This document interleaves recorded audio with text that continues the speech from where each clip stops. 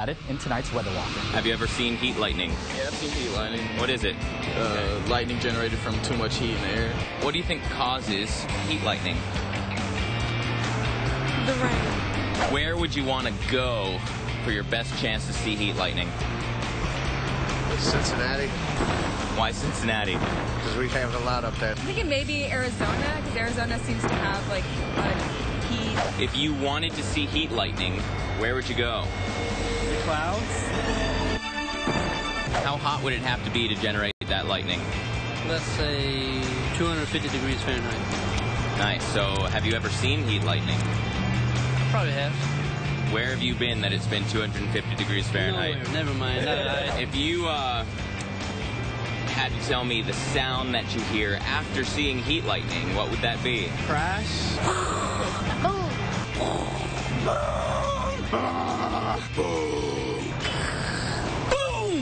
How do you stay safe from heat lightning? Stay inside. Stay in the playroom. I try to keep cold. How do you stay safe from heat lightning? Uh, hydration, drinking water, and uh, eating the right foods. It should help.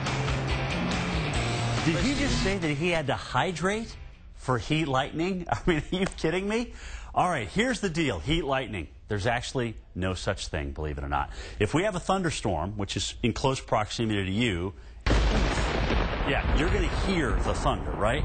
But what if that storm was 10 miles or more away?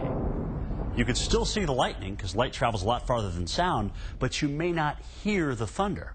So that's what most people assume is heat lightning. And the reason why we can't hear the sound is because of the bend of the earth, and sound waves just don't travel through. I mean, there could be mountains, there could be uh, very humid air outside, which is typically the case. We usually see this uh, in the summer nighttime situation. But when you say there's heat lightning going on, it's actually just simply a thunderstorm off in the distance where you can't hear the thunder. Oh, and by the way, it's always a good idea to hydrate. Back to you. Yes, it is. Especially in August. Especially if you're playing sports out in the heat. Right, summertime. a lot of hydration going on. We have a lot going on in the tropics. We're watching several areas. When we come back, we'll have your complete tropical update. And of course, you can join our weather conversation with us on air, online, and on your phone. TWC Social is next.